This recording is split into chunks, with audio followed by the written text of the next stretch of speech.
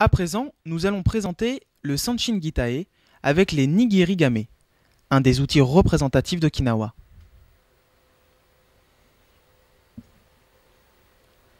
C'est une méthode très particulière et ce sera certainement la première fois au monde qu'elle sera présentée dans une cassette vidéo.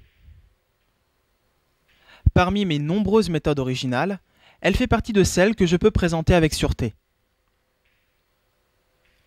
Ces nigirigame contiennent soit des cailloux, soit du sable, soit de l'eau. Autrefois à Okinawa, il paraît que selon la capacité des personnes qui pratiquent le sanshin avec nigirigame, on augmentait petit à petit la quantité de leur contenu. Je considère que cette méthode, consistant à s'entraîner patiemment et progressivement sans se forcer, est une excellente méthode qui convient à l'esprit essentiel des arts martiaux. À ce propos, comme on prend un vase pesant quelques kilos dans chaque main, cet entraînement augmente d'abord la force des doigts qui les tiennent. Les deux épaules baissent naturellement par le poids, ce qui fait développer le trapèze, le grand pectoral, les muscles des bras et du cou,